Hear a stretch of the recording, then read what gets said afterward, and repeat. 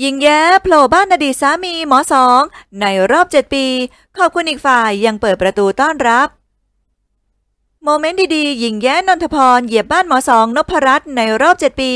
ขอบคุณอดีตสามีที่ยังเปิดประตูต้อนรับ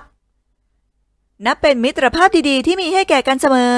สำหรับคู่ของหญิงแย้นนทพรเถรวัฒนสุข กับอดีตสามีหมอสอง หรือนพรัตน์รัตนวรา ที่แม้จะเลิกรากันไปนานแล้ว แต่ยังคงรักษาสถานะความสัมพันธ์ไว้อย่างดี อย่างล่าสุด ถือว่าเป็นอีก moment ดีๆ เมื่อหญิงแย้ได้ออกมาโพสต์อินสตาแกรมขณะไปร่วมงานปาร์ตี้ริมสระที่บ้านหมอสองพร้อมกับถ่ายบรรยากาศปาร์ตี้ ที่มีเพื่อนพ้องคนสนิทของหมอสองมาร่วมงานมากมาย โดยตั้งชื่อคลิปนี้ว่า content มาบ้านแฟนเก่า ซึ่งในคลิปหญิงแย้เอ่ยปากแซวหมอสองบอกว่าตนเองได้ content แล้วกลับบ้านได้ อีกฝ่ายก็แซวกลับว่าจ่ายค่าคอนเทนต์มาด้วย โดยเธอบอกว่าเป็นการกลับมาบ้านหมอสองในรอบ 6-7 ปี บ้านยังหลังใหญ่โตมโหฬารเหมือนเดิม ขอบคุณพี่หมอที่ยังเปิดบ้านต้อนรับเธอ